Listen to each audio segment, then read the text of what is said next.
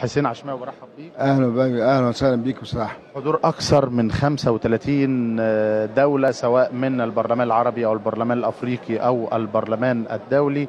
هذه رسالة هامة للعالم أجمع. أنت شايف الرسالة دي إزاي؟ بداية خلينا أقول يا أحمد بيه النهارده يعني إحنا فوجئنا بخبر فقداننا للنائبة المحترمة الخلوقة أميرة رفعت. كانت من أشد الناس والناس النهارده كل النواب زعلوا عشانها وأعتقد النهارده الرئيس برضه تأثر ورئيس البرلمان المصري برضه دكتور علي عبد العال أشاد إلى كده. لكن إحنا خلينا نقول النهارده أن نكون إن مصر بتحتفل بمرور 150 عام على البرلمان المصري ده إنجاز غير مسبوق. وكون برضه خلينا نقول وكون النهارده البرلمان العربي والبرلمان الإفريقي النهارده ما يكونوا متعاونين معانا وجايين النهارده بيشاهدوا الاحتفالية اللي بتقوم عليها مصر. فهنا بلد السلام شرم الشيخ بلد النموذجية الجميلة الحلوة.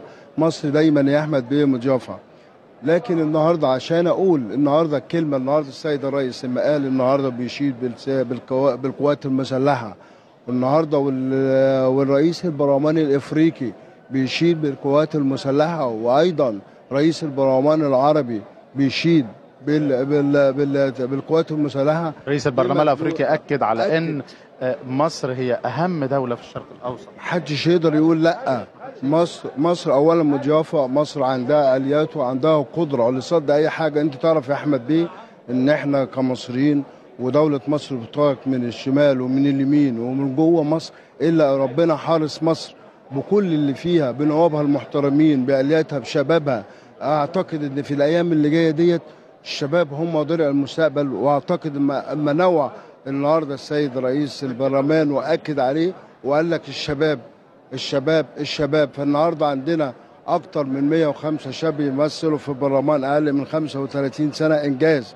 اما يكون عندنا 90 أمرأة بتمثل البرلمان المصري ده شيء طيب وشيء كويس. فده شيء رائع. وإحنا النهارده مستنيين كبرلمانيين ان إحنا إحنا متأكدين ان إحنا متخاذلين شوية في ان إحنا بنأدي لأن الناس محتاجة منا كتير.